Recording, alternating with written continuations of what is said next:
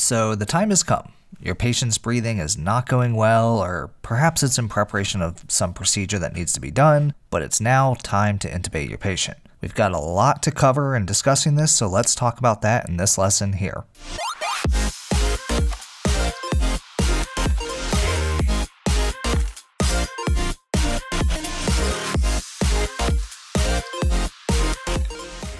Alright you guys, welcome back to another video lesson from ICU Advantage. My name is Eddie Watson, and my goal is to give you guys the confidence to succeed in the ICU by making these complex critical care subjects easy to understand. I truly hope that I'm able to do just that, and if I am, I do invite you to subscribe to the channel down below. When you do, make sure you hit that bell icon and select all notifications so you never miss out when I release a new lesson.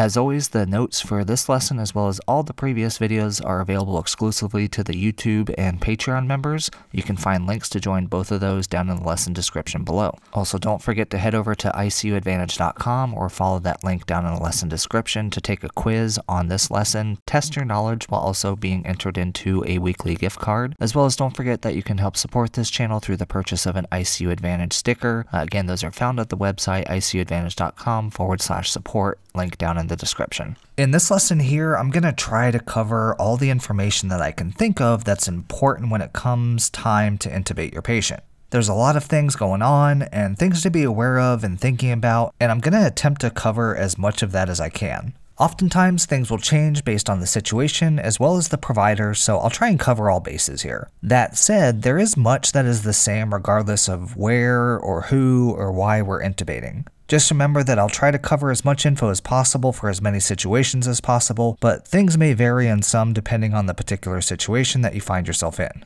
So, first things first, the time is here, your patient is needing to be intubated. The situation in which your patient is needing to be intubated can truly vary based on many different things. They could be crashing and in respiratory distress and needing quick emergent intubation. They could be coding and needing a tube placed during the code. They could have just extubated themselves and needing a new tube placed. They may have had escalating respiratory support, but just aren't where we need them to be, but not quite crashing just yet. Or they could be completely awake and alert with no respiratory compromise, but we're needing to intubate them prior to a procedure. Regardless of the situation, there's a few things that need to happen right away. Some of these can happen in different orders, but should all happen immediately after the call to intubate. Once the provider makes the call to intubate, you'll want to start off finding out which meds they want to intubate with.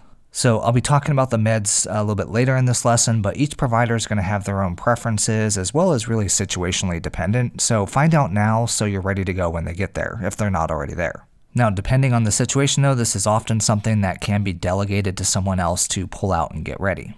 Next, if they're not already present, let your respiratory therapist know immediately of the plan to intubate.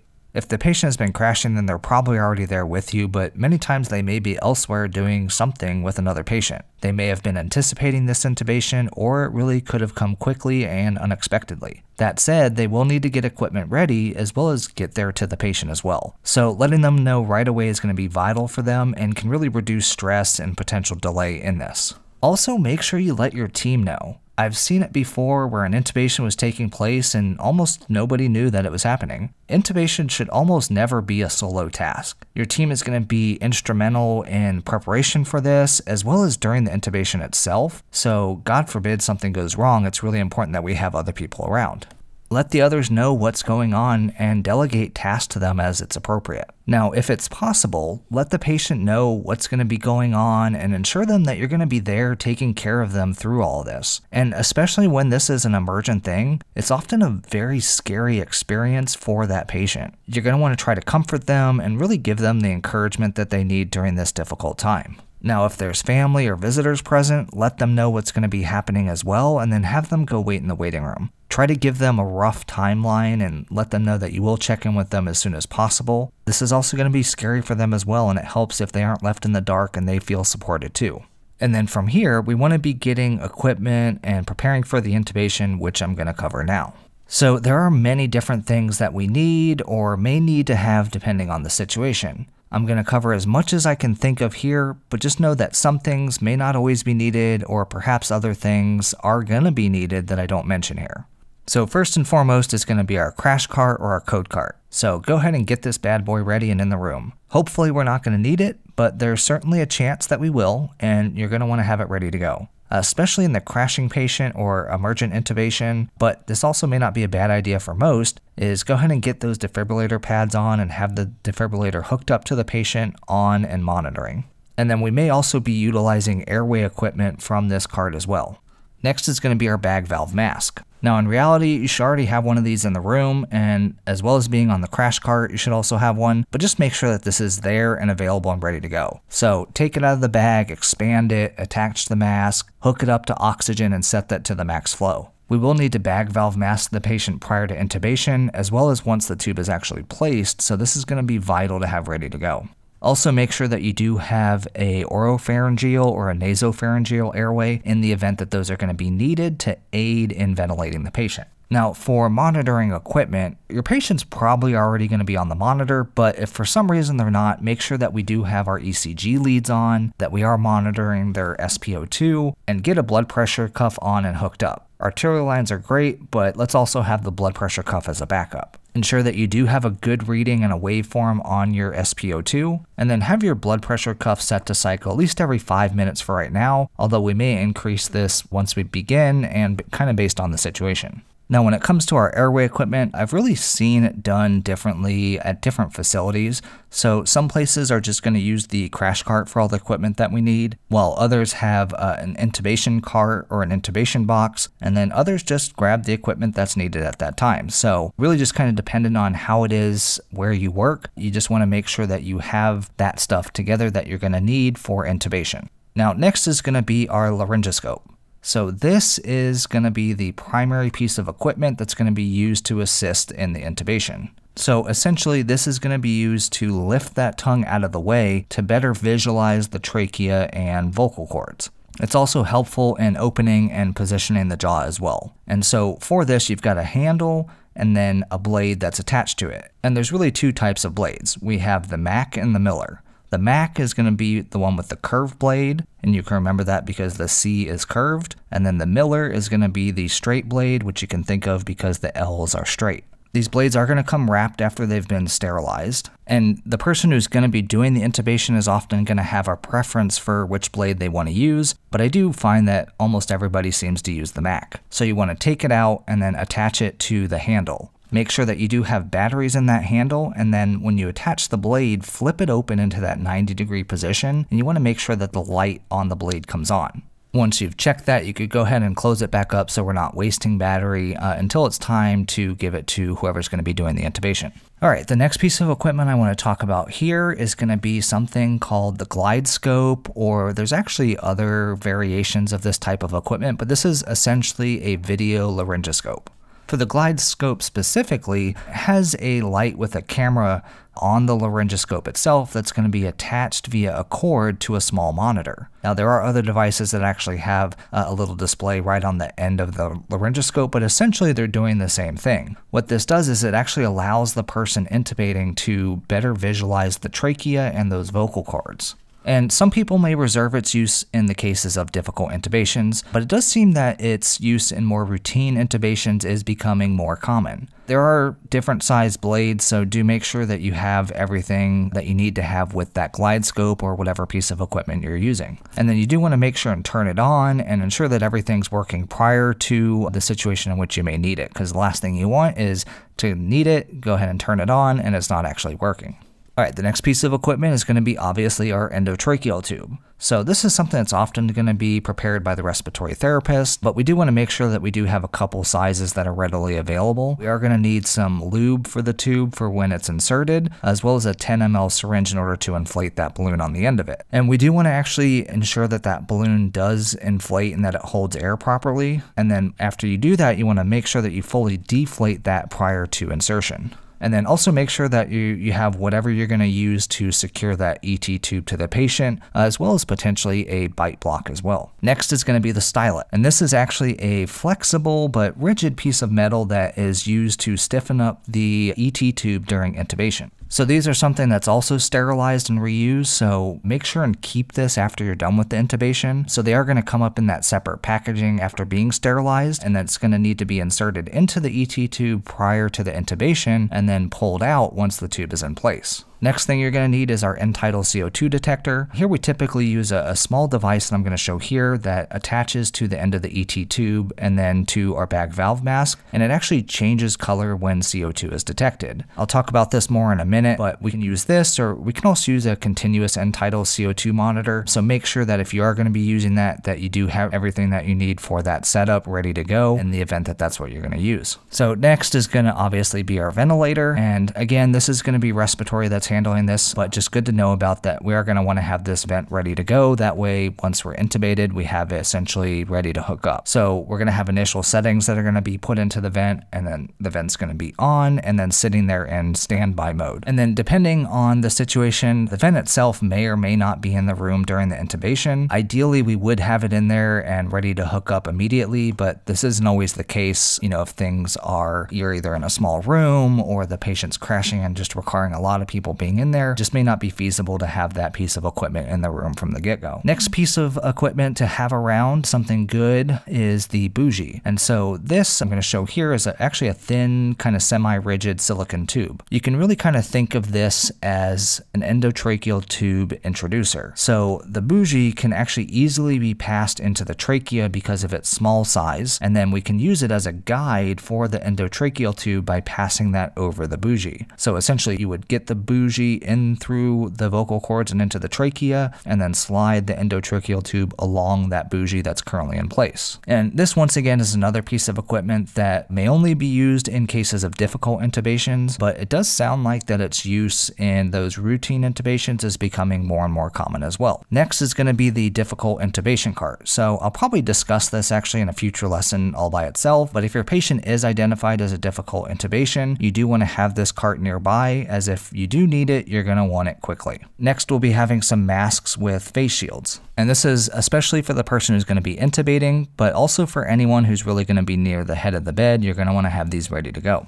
Next is going to be our suction, and you want to make sure that you have your suction set up and all ready to go. You want that suction on high and you want to have the Yankauer attached to the tubing. And the reason for this is that we may need this suction to clear out any secretions from the airway to better visualize and place that endotracheal tube, but it may also be needed in the event of emesis to quickly try to prevent aspiration as well as clearing the field of view for the person who's intubating. And then last piece of equipment I'm going to talk about here is going to be our IV pump and really just make sure you have this in the room and that you have plenty of channels or devices in the case if it's a single line per device. So for example, if you're using like the Alaris pump, I really suggest just having four channels attached to it. And so I'm going to discuss more in a minute, but go ahead and prep any meds or fluids you need and have them primed in the pump with the pump programmed and on standby if it's needed. All right, so now let's move on and talk about meds here real quickly. So we have meds that we use for the intubation itself, and then meds that we'll most likely need to use afterwards. So here I'm just going to quickly review over the common intubation meds, but also make sure you find out from that provider what it is that they wish to run continuously after the intubation has take place. So you want to have that prepped, pulled, and ready to go as well. So when it comes to intubation, there's really just a couple meds that we typically see with this. The first is actually going to be some sort of sedative medication. So our common choices here are going to be like etomidate, propofol, or Versed slash midazolam. Really, the choice of sedative is going to vary from provider to provider, as well as based on whatever the situation is. So for example, the crashing hypotensive patient, we're probably not going to be choosing propofol here. More commonly these days, though, it seems that etomidate is often used and it really has one of the best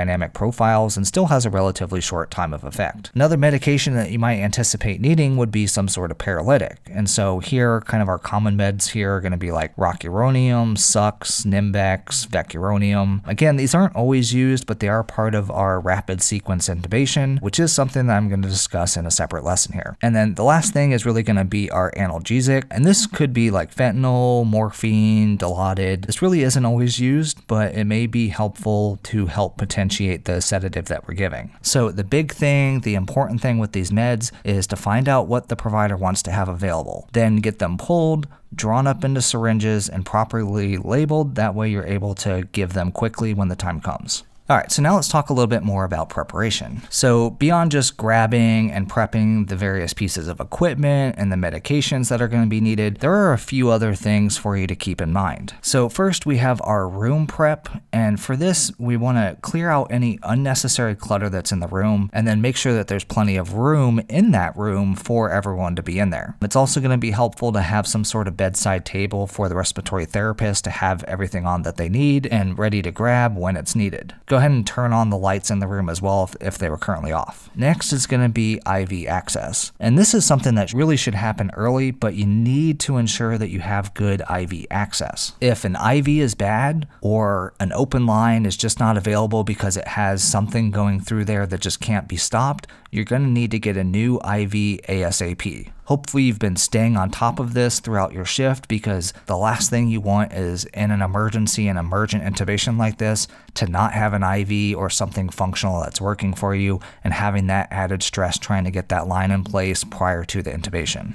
Another thing for prep that we can't always do, but is, is definitely important if we can, is going to be to aspirate the stomach. So like I said, this isn't always possible, but if your patient does have an NG tube in place, then go ahead and put that suction on continuous and increase the suction. And we really want to try to empty their stomach out as much as possible with the goal of trying to prevent any potential aspiration. And then from there, we want to take a look at our bed position. So first off, we're going to need to pull that bed away from the wall at the head of the bed. So this is going to give room for that person intubating to be able to get behind the bed. If there is one of the removable headboards on there, go ahead and take that off as well to help facilitate that intubation. When the time does come to intubate, or if you need to use the bag valve mask, the patient is going to need to be lying flat. That said though, for those in respiratory distress, this may not be possible until we've given them the sedative medication. These people are often needing to sit up, high Fowlers, they're just not going to tolerate lying down, and so that sedative medication is going to need to be given in order for us to lay them flat and have them remain calm while we're doing that. The bed is also going to need to be raised up to a comfortable, natural position for the person intubating. So this is obviously going to vary based on the person who's doing the intubating. The bed is going to need to be raised quite a bit regardless, so we can go ahead and start getting that elevated. And then we can just make those final adjustments once they're lying flat and we have the person at the head of the bed, whatever they deem comfortable for them. Now from here in preparation, we are going to want to pre-oxygenate the patient. So when we're ventilating the patient here with the bag valve mask, mask, do keep in mind your BLS stuff. So we've got that head tilt chin lift to ensure that we have a good open airway. Although remember, this isn't going to apply to patients that do have some sort of limitations or injuries that exclude us doing this to their neck. And we really want to try to max out our patient's vital capacity and the reserve as best we can. So we're going to be delivering 100% FiO2 through this bag valve mask, and we're probably going to be slightly hyperventilating them a little bit too. And the reason for this is that when this intubation attempt is taking place, place, the patient's going to be receiving no oxygenation and no ventilation. So really, if we can fill up their reserve, then this is going to buy us more time for that successful intubation. Hopefully that makes sense. So some patients though are just not going to have much reserve regardless, and we may already be bagging this patient just to try to keep them from coding. So in these cases, we can only do the best that we can do. And this is then going to require that quick, successful intubation, and ultimately this is going to make that event more stressful. Then from here, here we want to pre-medicate our patient. So we often give the sedative or the analgesic before we even begin using that bag valve mask, except in those emergent cases where we're going to be using that bag valve mask immediately anyways. In these emergent cases too, we may also just be pushing these meds all at once to be able to intubate the patient as quickly as possible. The biggest thing to remember, especially when we have multiple meds that we're giving, including a paralytic, is that you want to give that paralytic last. We want to ensure that sedation is on board before we paralyze somebody. So typically what we do is when we give the sedation, we want to wait for a minute or so before we actually give the paralytic. One good thing to know though is that most of the medications that we use in intubation are actually compatible together in the IV. Therefore, they often don't require flushing between each one. So what I really suggest for you guys to do is to run all these different medications that you commonly use for your intubation through one of those IV compatibility programs such as Micromed paramedics or whatever it is that you use, and then check this and ensure that this is the case for the meds that you see. And then finally, the catch all last thing for our preparation is really going to be for our emergency prep. So I already mentioned about having the code cart in the room and getting those defib pads placed on the patient and kind of having them hooked up to the defibrillator there. Um, but there are a couple other things that can kind of help us in the event of an emergency. And the first is going to actually be having a fluid bolus ready to go. And so having a liter of fluid is going to be something that's important to have ready. It's not uncommon, especially with certain medications that we give them for the intubation, combined with the positive pressure ventilation and that rising intrathoracic pressure, that your patient may become hypotensive.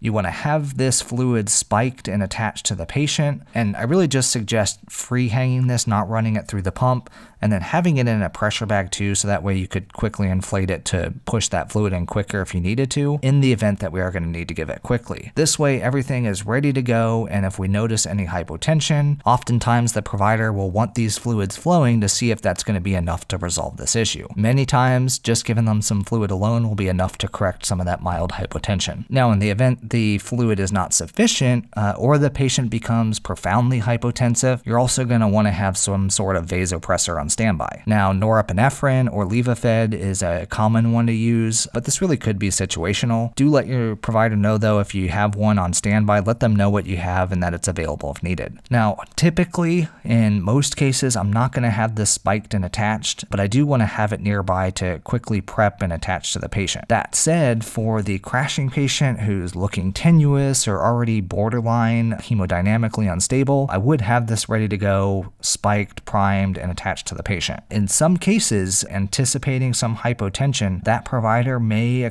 elect to start those fluids or even have a low dose pressor prior to intubating. All right, so we went over a lot of preparatory stuff but let's actually talk about the intubation itself. So, as the nurse, your primary job is going to be to one, push the medications, but two, and probably more importantly, is going to be to monitor that patient during the intubation. Now, respiratory is going to be at the head of the bed, assisting with the bag valve mask at first, and then really having that equipment ready and available for the person who's intubating. And it is helpful at the very least to have one other person as a second set of hands if they're needed or to be a runner for anything else that may be needed as well. Definitely in more emergent cases, we're often going to have a second respiratory therapist and really a third or fourth person there to help out as needed. So when it comes to the intubation, really who is it who does the intubation? And this definitely varies from place to place and situation to situation. So obviously doctors can and often are the ones who are doing the intubation. So this is going to especially be true for our difficult intubations and really depending on the situation, anesthesia may also be called for the intubation, as they really have the most experience with intubation and airways, and especially difficult airways. Now, advanced practitioners such as our PAs, NPs, CRNAs, they can also do this as well. And then in some hospitals, for many intubations, the respiratory therapist can also do this. There definitely are certain situations in which a provider, a physician, or an advanced practitioner would have to be there. But if it's a more straightforward intubation, uh, in a lot of these cases, the respiratory therapist can be the one to do it. And then something in a hospital that I personally haven't seen, but I've definitely heard of, and especially in like our transport and flight cases, the RN can actually do the intubation as well. Now, additionally, out of hospital, we do have our EMTs and our paramedics who do intubations. I do know that some EDs do utilize them in their departments sometimes, so perhaps this may be something that they're able to do there, but I'm just honestly truly not sure about that. So while the intubation and everything is going on, like I said, you're really going to be focused on monitoring the patient and the monitor. So during the whole intubation, you're really going to want to be watching the monitor and your patient's vitals there. And you're really going to need to call out these vitals, especially as things are changing and or deteriorating, and make sure that you're loud and make sure that they hear you. You obviously don't have to yell it so that, you know, people three doors down can hear you, but definitely don't be soft spoken when you're calling this information out. Now, while the intubation is happening, and this may be a very quick thing, or this could potentially drag on for a little bit depending on how much difficulty the person's having. But during this whole time that they're being intubated, remember that patient is going to be without oxygen. So watching their SpO2 is really going to be important here. So the person who's doing the intubation and, and even the respiratory therapist may be busy with what they're doing in that moment and not able to watch that monitor and closely follow or track where this patient's SpO2 is. So you want to be making call outs of the SATs periodically so that they know where they are and really if it's still okay to continue with their attempt. And remember that this goes for even if those SATs are staying relatively stable, especially true if they're beginning to fall and especially if they're beginning to drop quickly. You're going to want to continue to periodically make these call outs so that everybody is aware of where we're at with the SATs. Now, the ECG is probably going to be our next big important thing for us to keep an eye on. If they're beginning to become hypotensive, we could see some compensation in the form of tachycardia. Now, if their SATs are dropping or due to some vagal stimulation from having the endotracheal tube in there or pressure on their neck, we could see their heart rate drop and them become bradycardic as well as the hypoxemia could also lead to bradycardia as well as different arrhythmias. So we really want to keep an eye out for if they're having any new or increased ectopy, and then especially for any lethal arrhythmias that may come about. So hopefully if this is the case, you've already got those pads on and ready to go if this does happen. Now, many of our patients are going to have arterial lines with that continuous blood pressure monitoring, but if we do just have the cuff, then we probably want to have it cycling every one to two minutes during the intubation. We want to be able to catch any of those changes with their blood pressure as quickly as possible. Now, during all of this, there is a good chance that the monitor will be alarming, especially with those yellow alarms. And for those, just go ahead and silence these as they come up, as it's really unnecessary to be dinging, especially if you are sitting there monitoring it and then calling out the stats and the patient's vitals. It really just adds more noise and chaos and stress to a potentially stressful situation already. Now, in these stressful situations,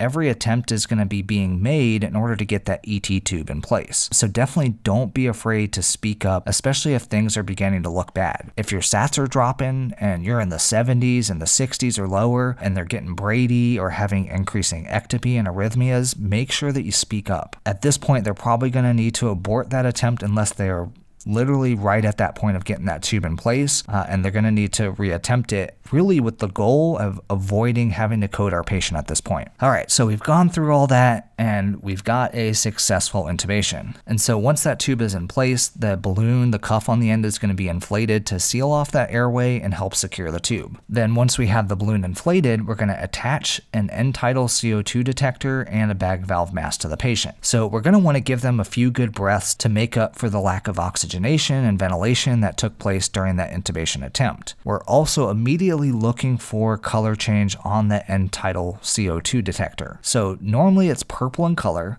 and then when we have CO2 that's passed through it, it changes to a yellow gold color on expiration. So if we're not seeing any color change after we're releasing that bag valve mask, it's highly likely that the endotracheal tube is actually in the esophagus. And if you remember from my previous lesson that this is a medical emergency and it needs to be immediately removed. The patient is probably going to be continuing to desat during this time as well, so that's going to be another telltale sign. Now, from here, simultaneously while we're beginning to ventilate the patient and looking for color change on that end-tidal CO2 detector, we're also going to want to be auscultating the patient for proper placement. So we want to listen for equal bilateral breath sounds while also seeing equal rise and fall of the chest. One other frequent complication is actually something that we call right main stem intubation. So the first branch of the trachea is actually into both the right and left main stems. The right main stem, though, particularly is more downward, and thus it's actually a really common place that both aspiration as well as deeply inserted ET tubes like to go. So if this happens and the patient is right main stem intubated, the patient will still be getting some oxygenation and ventilation, so it's certainly less of an emergency than, let's say, an esophageal intubation, but it still does need to be corrected quickly. And this really simply involves deflating that cuff, pulling the endotracheal tube back a little bit, and then reinflating inflating the balloon. This isn't, though, always something that's caught with auscultation. Uh, in a lot of cases, we will, and this is how we're going to pick up on it. But sometimes, like especially in larger patients, it's difficult to really properly auscultate the breath sounds uh, and view that chest rise. So sometimes it's difficult to really distinguish if we've got some sort of unilateral assessment. And sometimes it will slip past there, and it won't be until we get that x ray that we see that we have a right main stem intubation. Now, on top of auscultating the breath sounds, we do also want to auscultate the epigastric area to just to double check and make sure that we aren't in the esophagus. Now, we should also see some condensation on the ET tube on expiration. And this is going to be another sign that that ET tube is in the lungs. Now, the length that the tube is inserted is going to be noted based on the markings on the side of the tube. And we do want to record this somewhere so we know that the tube hasn't moved. Now, the recording of the depth of the insertion should be done at the teeth or gums and not the lips. So our lips can swell and change in size, and really the teeth slash gum is really going to be more likely to remain in the same position, giving us that better landmark to compare our measurements. And just keep in mind that most tubes are typically going to be inserted anywhere from 22 to 24 centimeters, at least in adults this is, um, but this can vary based on the patient and their size. Um, women are often going to be intubated at shallower depths as well. And so then at this time, we're also going to want to secure that ET tube to the patient. So this can be done with like our cloth tape. We have the special uh, endotracheal tube securing tape or some sort of securement device like the Hollister. And then from there, we also want to have a stat chest x-ray done. And this is going to ensure that we have proper placement of the endotracheal tube. That said, the chest x-ray is also going to be helpful for the provider to assess for any other abnormalities that could be going on with the patient causing some of these respiratory issues that were going on. The proper position for our endotracheal tube is for it to terminate two centimeters above the carina or where we have that first branch of the trachea going to the left and right main stem. So here's an example of a chest x-ray for a patient who is intubated. And here you can see we've got our endotracheal tube going and it's terminating here. And then here we can see our left and right main stems. And this is going to be our carina. And as you can see here, this endotracheal tube is approximately two centimeters above the carina. Now the x-ray is also going to be helpful, like I said, in identifying whether or not the ET tube is inserted too far and into the right main stem. Now this is also not to mean that we can't end up with left mainstem intubation because that definitely can happen, but it's certainly much less common than the right mainstem. So here's a quick example of a right mainstem intubation. So once again, here you can see our endotracheal tube, and you can actually tell that it's going over to our left, the patient's right. And if you look over here, you can see the left main stem, which actually goes up above where the end of the ET tube is, and this tells us that that tube is inserted too far and into the right main stem. So remember at this point, the radiologist or the, the physician who looks at it is going to basically give a determination of how far it needs to go back. That balloon's going to get deflated, that endotracheal tube is going to get pulled back so many centimeters, and then we're going to reinflate the balloon and then get another chest x-ray to check the placement. Now, in the cases of unsuccessful intubation, if that intubation really was not successful, then we're going to need to abort that attempt and we're going to have to resume bag valve masking the patient. So at this point, we're going to need to rebuild the reserve that was used up during that intubation attempt before we can attempt to do it again. And this may take a few minutes or more, and potentially more medication may also be needed for this patient as well. Additional equipment may be requested if it wasn't already used, such as the GlideScope, bougie, uh, potentially reaching out to anesthesia. And so again, it's really helpful if you have all of this already there and you can just quickly have it available for the person who's intubating. If the intubation is unsuccessful and the patient is crashing, coding, uh, then a more extreme measure may be taken, such as a, a, a cric. This is pretty rare though, uh, but I probably will plan to discuss this in a future lesson. And I think that covers most of the things that I can think of right now when it comes to our intubation process, the things that we want to prep, the things that we're doing during the intubation, and kind of immediately after some of the things that we're checking. I covered a lot of different information in here, and I certainly may have missed some stuff in there, but I really think I was able to get a lot of the stuff out there and really kind of relay some of that information to you guys so that hopefully you'll have a better understanding of what's happening when you get the heads up, hey, we need to intubate so and so, that you know the things that you need to be doing, thinking of, prepping, and getting ready to go, as well as having you ready to go to assist during that process. So I hope that you guys found this information useful. If you did, please leave me a like on the video down below. Uh, it really helps YouTube know to show this video to other people out there, as well as leave me a comment down below. I love reading the comments that you guys leave and I try to respond to as many people as I can. Make sure you subscribe to this channel if you haven't already. And a special shout out to the awesome YouTube and Patreon members out there. The support that you're willing to show me and this channel is truly appreciated, so thank you guys so very much. If you'd be interested in showing additional support for this channel, you can find links to both the YouTube and Patreon membership down below. Head on over there and check out some of the perks that you guys get for doing just that, as well as check out some of the links to other nursing gear, as well as some awesome t-shirt designs I have down there as well. Make sure you guys stay tuned for the next lesson that I release. Otherwise, in the meantime, here's a couple awesome lessons I'm going to link to right here. As always, thank you guys so much for watching. Have a great day.